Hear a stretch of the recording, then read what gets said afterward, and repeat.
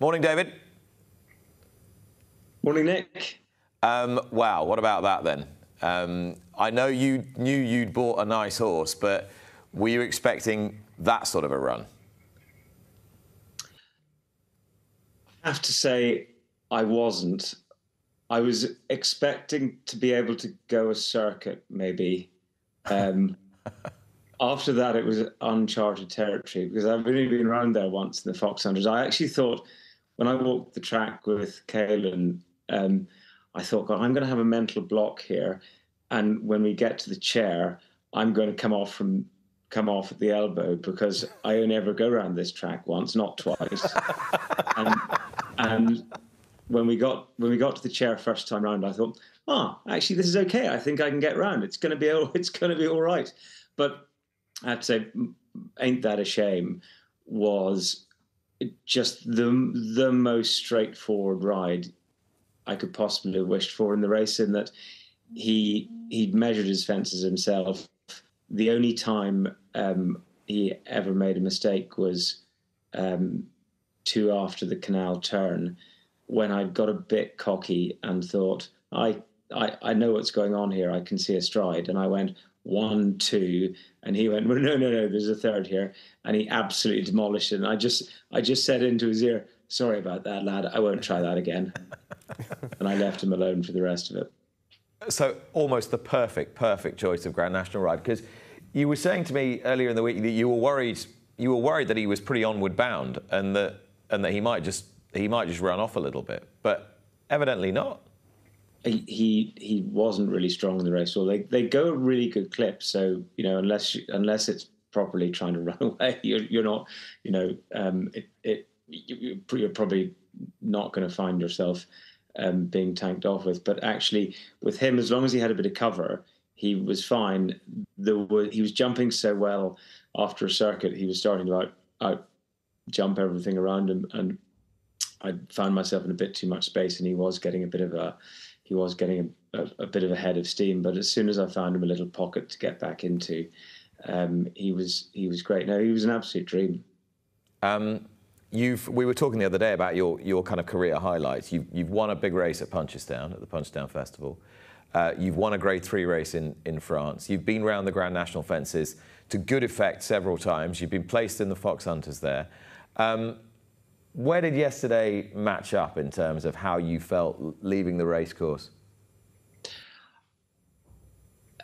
Um, I, I, would say um, top number one feeling of my career in racing, because you actually realise with the Grand National, and it's it's it's very important for us in racing um, to remember this that it's the Grand National that that the world watches um, and I, I hadn't even realized it until the number of text messages and WhatsApps I've had from people who who don't watch racing from one end of the year to the next, who who watch the Grand National.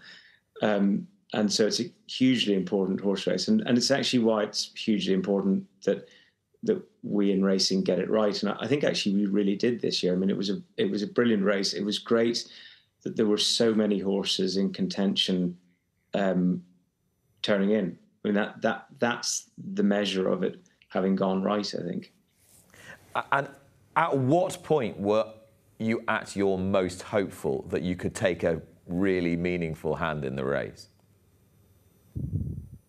Melling Road, second time round.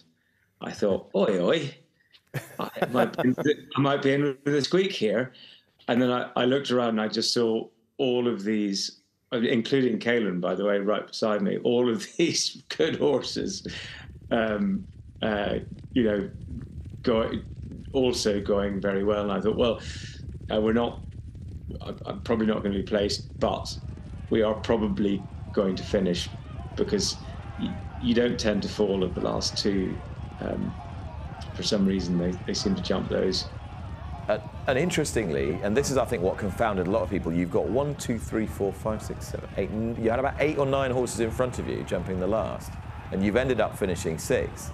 Uh, and that's, I think, the thing that, that maybe did surprise a few people was how well he finished off for you with his head bowed, trying all the way to the line.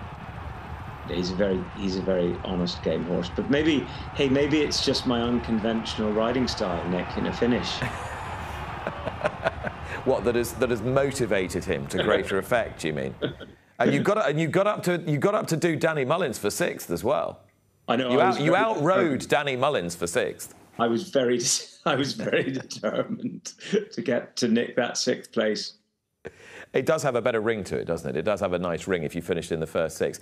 Um, one, the other point we made earlier in the week when we were talking was this horse's uh, appreciation of really, really soft ground as well. That if it, again, a bit like we were talking with Caoilinn earlier, if it had been really wet, that he might have gone even better. Yeah, I mean, he it, it, it actually had dried to um, it, it had dried to good to soft from really properly bottomless on on Thursday, and yeah, so it would have been better if we had have had um, uh, if we had have had softer ground. But I, I don't think I could have really uh, thought of any closer than than sixth. So you know, I'm I'm delighted with that. Yeah. Now, so th- th- there is absolutely no shot that you're not going to come back and do this again next year. if they were if they were running again today, I'd be lining up in it. I'm de- I mean, I'm already plotting it out with Henry. Uh, ain't that a shame's route to the race um, next year? Hundred percent, hundred percent certainty. While I have breath in my body, we'll be at Aintree April next year. Um, while you have breath in your body, it's also 100% certainty, isn't it, that you're going to Plumpton this afternoon? no, I'm not. Are you not? No, no, the ground's dried a bit too much. Ah, um, okay. And, it's just it, it's it's gone good there, and it's just probably a, a little bit sharp for Louis. But I, I, was going to. Okay. Well, that's it's very convenient that the ground has dried up uh, accordingly, so you can at least luxuriate in the Grand National for, for one well-deserved Sunday afternoon. Um, David, thanks so much for chatting to us. Uh, all the very best. Thanks, Nick uh, Dave Maxwell, who rode Ain't That a Shame to, to finish sixth. Watch live racing now on racingtv.com.